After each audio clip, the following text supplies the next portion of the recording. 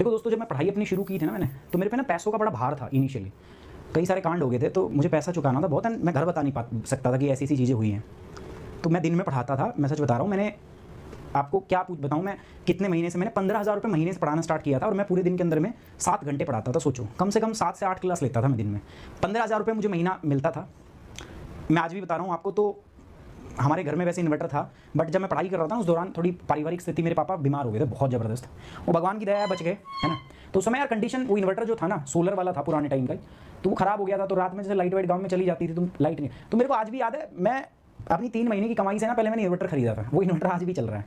नौ दस साल हो गए उसको, ठीक है, चल रहा है अभी भी, मस्त एकदम खटाखट। तो तब मैं तीन महीने की सैलरी जोड़ के लेके आया था, मैं यार रात में पढ़ा करूँगा, ठीक है?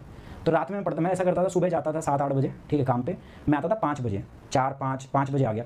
पाँच बजे मैं आते के साथ में मैं खाना खाता था। मम्मी को मैंने बोल रखा था, रोटी मेरी तैयार मिलती थी, मेरी छोटी सिस्टर थी, बहुत छोटी थी वो, लेकिन वो रोटी बना देती थी। उसको पता सुमित आएगा, वो खा के सोएगा। मैं खा के सो जाता था पाँच बजे, मैं उठता था फिर ग्यारह से ग्यारह बजे मुड़ जाता था, ग्यारह, साढ़े ग्यारह से उठता था मैं। अब उठ गया, ठीक है कॉफ़ी पीता था, बहुत स्ट्रॉन्ग उस टाइम पे कॉफ़ी पीने की बड़ी ज़बरदस्त लत पड़ गई थी मेरे को, ठीक है, क्योंकि नींद भगानी होती थी ना।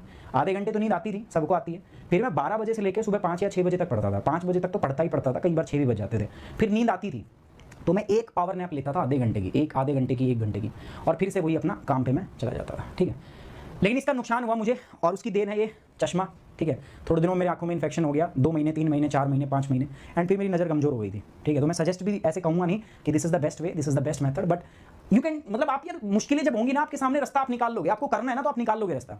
बस एक बात याद रखो, एक बात याद रखो, जब तुम्हें ऐसा लगे ना, जब तुम डाउन फील हो तो एक बात याद रखना मन के अंदर में कि तुम्हें कोई हरा नहीं सकता है बस। समझ में आ रही बात? कोई भी हो जाए सारा तुम्हें कोई हरा नहीं सकता, ये बात दिमाग में बिठा लो, ठीक है? दिमाग में बिठा लो। तुम्हें कोई हरा नहीं सकता और तुम हार सकते नहीं हो। क्योंकि तुम्हारा जो जीतने का जज्बा है ना, वो हार से कहीं बड़ा है।